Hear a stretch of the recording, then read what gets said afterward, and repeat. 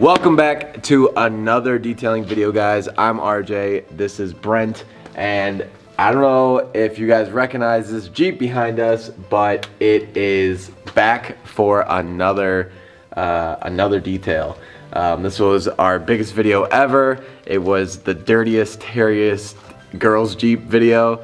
Um, and what do you know? It's dirty and hairy again. So, it's so bad again. Yeah. Um, so she contacted us needed to get it in before uh, this upcoming weekend. So we cleared the schedule and decided to fit her in so that we could bring an awesome video to you guys and help her out. So, uh, aside from that, you got anything else to say, Brent? Oh, to it guys, check out Car Supplies Warehouse. It's your one-stop shop for all your detailing needs, and you'll also get a $5 credit for your first purchase the first time you make an account and purchase something. So uh, give them a look. They were the sponsor for our big giveaway. And uh, aside from that, let's get into it.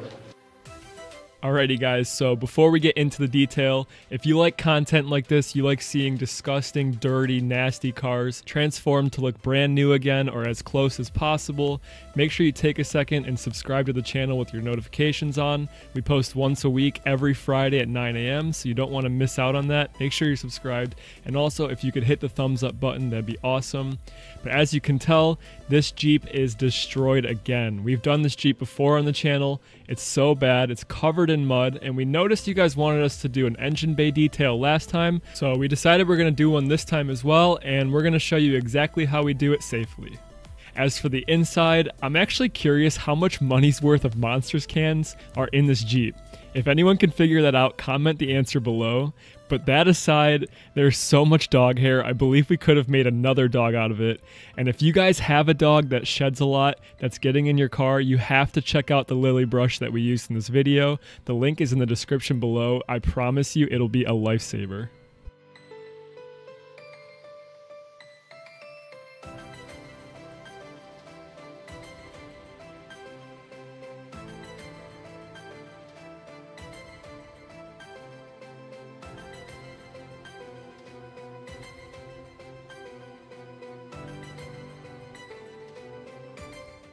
So guys, the degreaser that we're going to use today is Meguiar's D108. We ordered this off Car Supplies Warehouse. Seriously a good deal. It's a decent degreaser.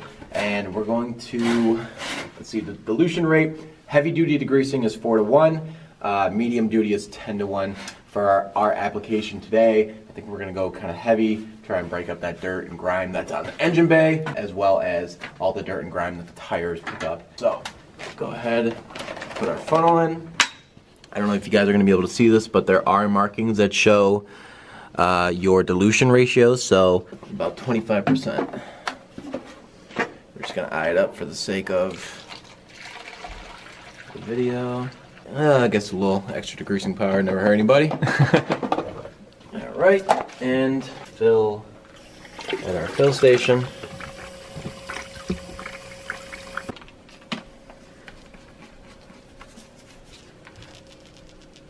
Ready to go.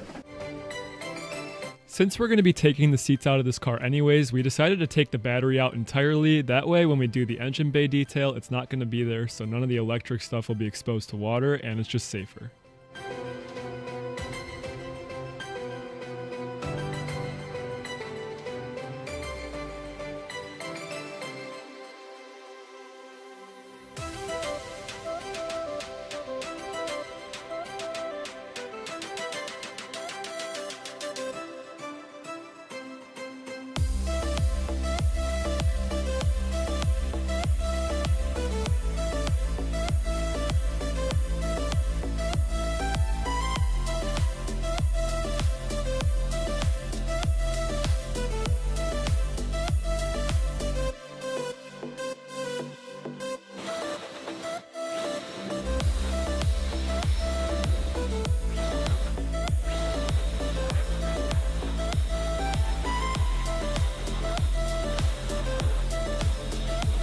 Alright guys, so the soap we're using today is not the usual honeydew snow foam from Chemical Guys. That's actually pH balanced. It's not going to remove any iron. It has no degreasing properties. It's basically just a, a maintenance cleaning soap.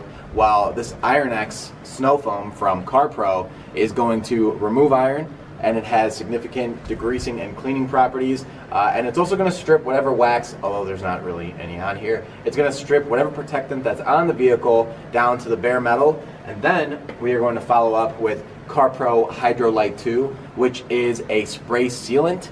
Uh, it's a silica spray, and it's crazy the way it makes the paint feel. The paint literally feels soft and, and smooth and sleek. I've never seen a spray wax do what this spray sealant does, but I guess you guys will just see with your own eyes how it works. It's time for the question of the video, so leave your answers in the comments below.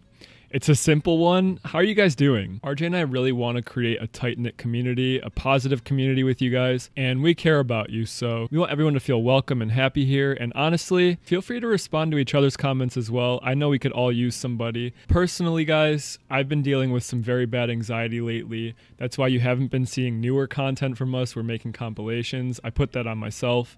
Um, I'm dealing with it. I'm trying my best, but I just want to be open, and I hope you guys feel the same way. You don't have to talk about anything bad. Tell us how you're doing, how your day's been, anything like that. And we hope you enjoy the rest of the video.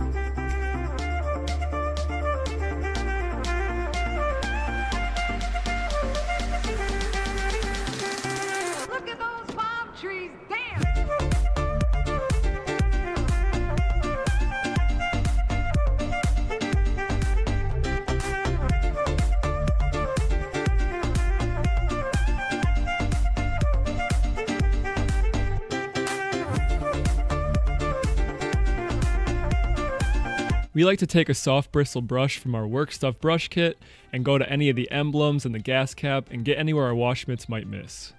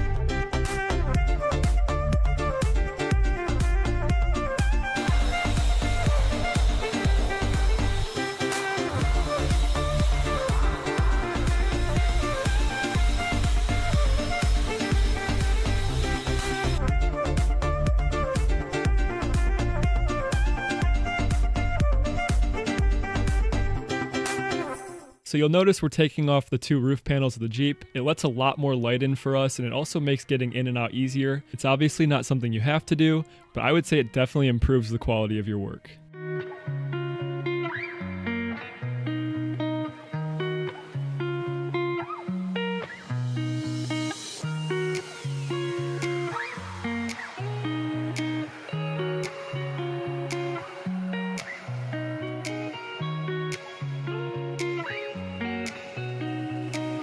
If you're newer to detailing, one tip that I could give you when you go to the interior, the first thing you should do after taking all the garbage and all the items out is to vacuum. I know that seems pretty obvious, but sometimes people don't know what order they should do the steps of a detail in. If you vacuum first, it'll make the job a lot easier, it looks better, and you can always come back at the end of the detail with a second vacuum or a third vacuum to give that final touch.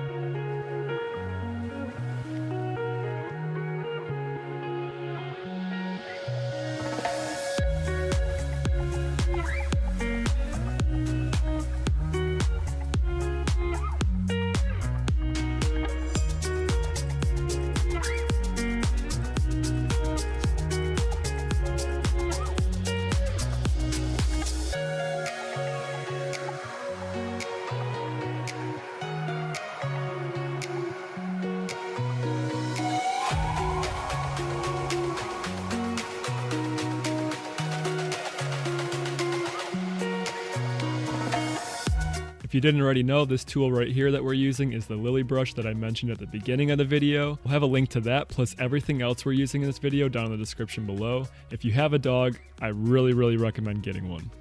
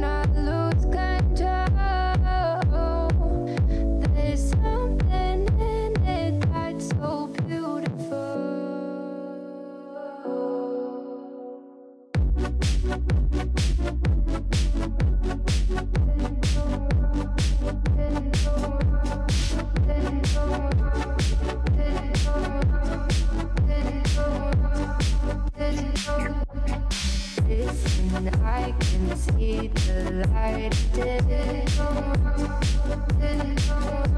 But I can also see the bones.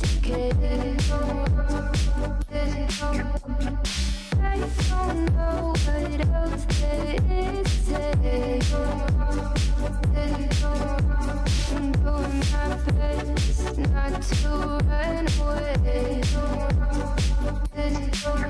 Sitting the hoping it'll cave in and swallow me whole.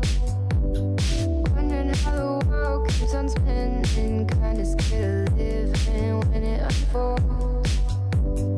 Hard to see the light when everything is dying, waiting for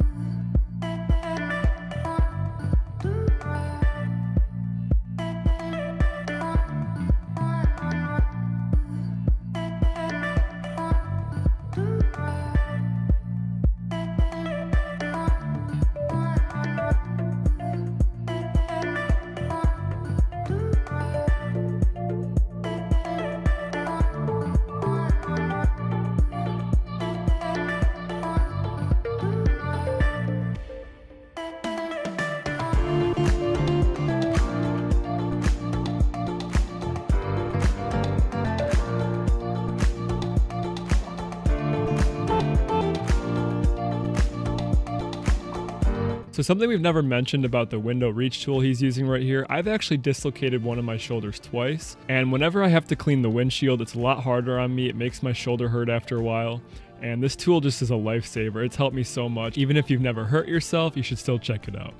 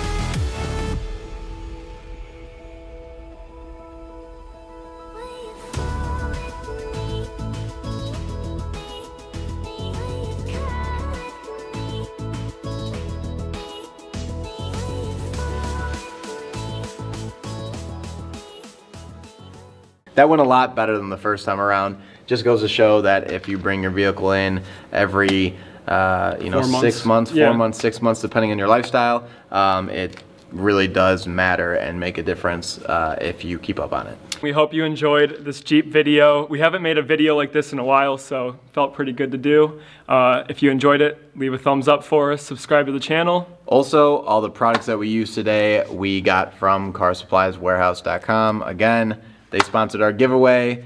They provide us with some high quality products. We pay for them, we don't get them for free. Uh, but Jason over there is a good guy. Um, so definitely check out the website. You get five bucks credit on your first purchase. That's credited to your account for your next purchase. Um, but check them out and See you guys than next Friday. yeah. Peace.